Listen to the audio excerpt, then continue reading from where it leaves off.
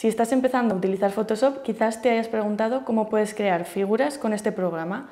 Hoy te enseñaré las diferentes herramientas que ofrece Photoshop para crear formas. Para crear figuras, Photoshop nos ofrece seis herramientas diferentes, que suelen estar agrupadas en la barra de herramientas junto al rectángulo. Si hacemos clic derecho, las desplegamos todas. Y ya sabéis que si no encontráis alguna herramienta, podéis desplegarla desde Editar barra de herramientas y arrastrarla a vuestra barra de herramientas. Vamos a seleccionar la herramienta rectángulo, que es la primera forma básica que nos ofrece el programa. En la barra superior encontramos las propiedades de esta herramienta y estas propiedades son comunes a la mayoría de las herramientas de forma. Lo primero que vemos es que tiene un color de relleno. Si hacemos clic sobre él podremos seleccionar otro color desde las muestras de color de Photoshop o si hacemos clic sobre este icono nos despliega el selector de color. Lo siguiente que vemos es el color de trazo. Ahora mismo este símbolo que tiene, que es de un cuadrado blanco con una raya roja, significa que no tiene color. Podemos ponerle un color cualquiera y además este trazo podemos darle un grosor y en la siguiente pestaña, que es la de opciones de trazo, podemos ponerle, por ejemplo, un trazo discontinuo o de puntos y modificar más opciones del propio trazo. Además, en estos valores podemos establecer la anchura y la altura que queremos que tenga nuestra forma. Si por ejemplo activásemos la cadena, nos crearía una forma que mantiene proporción entre ancho y alto. Vamos a introducirle por ejemplo unos valores de 100 píxeles por 150 y vamos a hacer clic sobre el lienzo.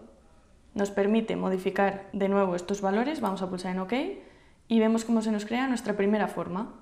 Si os habéis fijado, en el panel de capas nos aparece una nueva capa con la figura que acabamos de crear, que hay denominado rectángulo 1. Además, en el panel de propiedades tendremos las propiedades de este rectángulo, que podremos modificar siempre que queramos.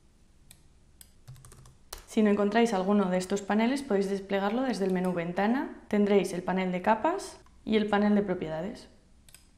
Otra forma de crear un rectángulo sería haciendo clic y arrastrando nos permite crear el rectángulo con las dimensiones que queramos. Además, si mantenemos pulsada la tecla Shift, nos mantiene la proporción de ancho y alto creando un cuadrado. La siguiente figura que vamos a ver es el rectángulo redondeado. Como veis, tiene las mismas propiedades que el rectángulo normal, pero además le ha añadido la propiedad de radio. Esto significa que nos redondeará las esquinas de este rectángulo con el radio que introduzcamos. Por ejemplo, vamos a ponerle 50 píxeles y vamos a dibujarlo. Y siempre podemos modificarlo desde el panel de propiedades.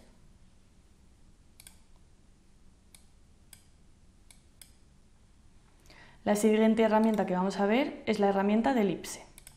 Al igual que en el rectángulo tendremos el color de relleno, el color de trazo, el ancho del trazo, las propiedades del trazo y las dimensiones en ancho y alto de la elipse. Haciendo clic y arrastrando crearemos una elipse e igual que para crear un cuadrado, haciendo clic y arrastrando y manteniendo pulsada la tecla Shift, crearemos un círculo perfecto. E igual que antes podríamos modificar sus propiedades, por ejemplo, quitarle el color de relleno. La siguiente herramienta que tenemos es la herramienta polígono.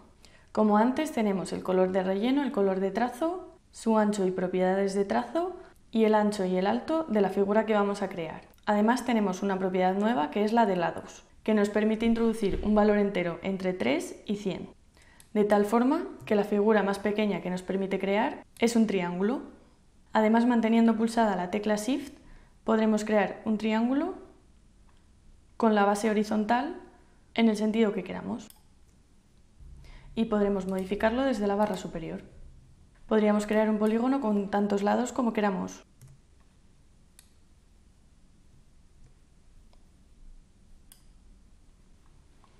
La siguiente herramienta que nos encontramos es la herramienta línea.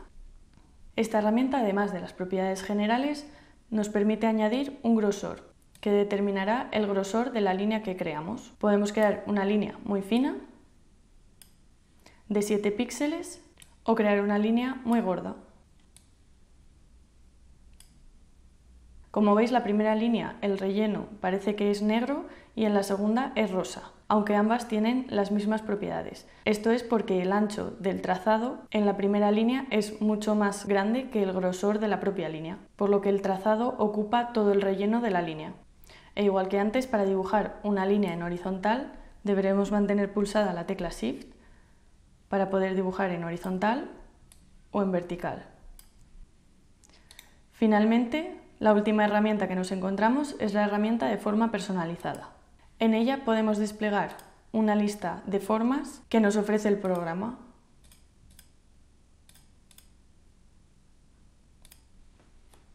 Haciendo clic y arrastrando crearemos esa forma y si mantenemos pulsada la tecla Shift nos mantiene las proporciones, si no nos la deformará.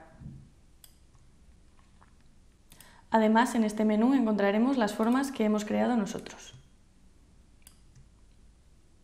Espero que el vídeo haya sido de ayuda. Si es así, dale a me gusta y si quieres ver más vídeos como este, suscríbete a nuestro canal y activa las notificaciones para no perderte nada. Nos vemos en el siguiente tutorial.